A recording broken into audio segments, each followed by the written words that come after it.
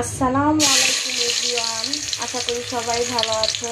আল্লাহর অশেষ রহমত, আলহামদুলিল্লাহ, আমিও ভালো আছি।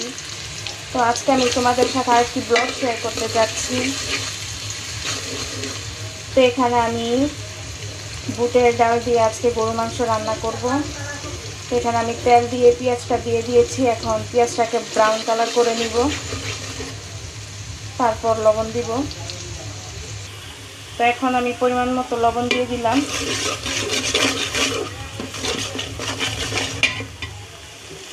তো এখন দিয়ে দিব আদা রসুনের পেস্ট।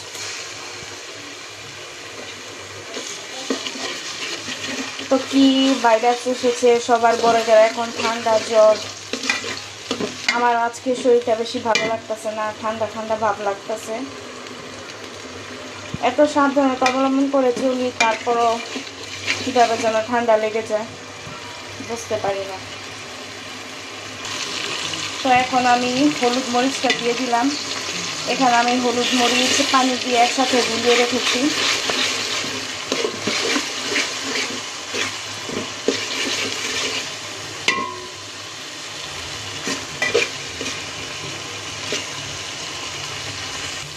এখন গরম মশলার গুঁড়ো দিয়ে দিলাম। আমি একসাথে মশলাটা বেটে রেখেছি। ওইভাবে আস্তা মশলা ভালো লাগে না দিলে দাঁতে লেগে যায়। তাই এইভাবে গুঁড়ো করে নেওয়াটাই আমি মনে করি ভালো। এখন পানি দিয়ে দিচ্ছি। এখন এটাকে ভালোভাবে কষিয়ে নিব আমি।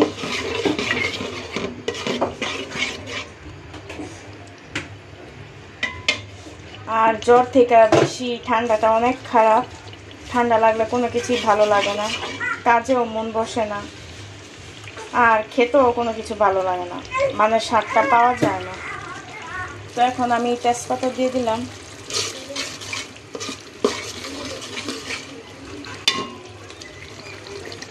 আমার মশলাটা কষানো হয়ে গেছে, আমি মাংসটা দিয়ে দিছি।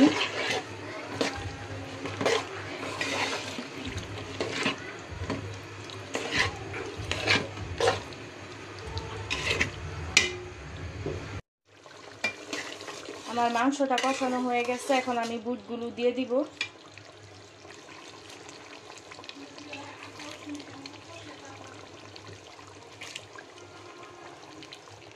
এটাকে এখন আমি পাঁচ মিনিট কষিয়ে তারপর ঝোল দিয়ে দিব।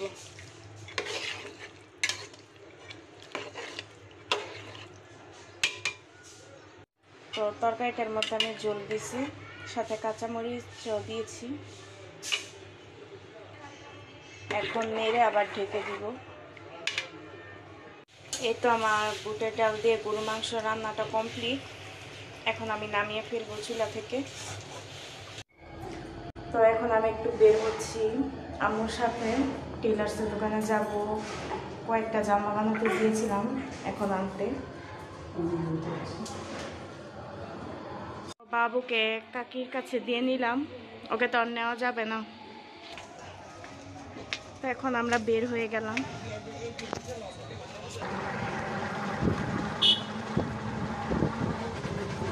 তো রিক্সার বেশি দূরে এগোবে না আমরা এখানে নেমে যাচ্ছি। মিজাজটা খারাপ লাগতেছে। রাস্তা ফাঁকা তো তাই। সরি রাস্তার কাজ ধরছে তো তাই অনেকখানি জায়গা হেঁটে যেতে হচ্ছে আমাদের। কি অবস্থা রাস্তাঘাটে?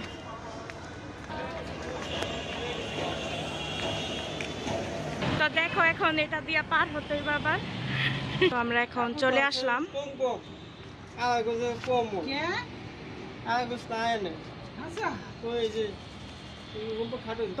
অনেক গরম লাগতেছে, আর অনেক হাঁটতে হয়েছে আজকে আমাদের।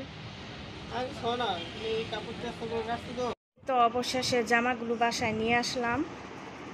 তো আজকে অনেক কষ্ট হয়েছে অনেক রাস্তা পর্যন্ত হেঁটে যেতে হয়েছে।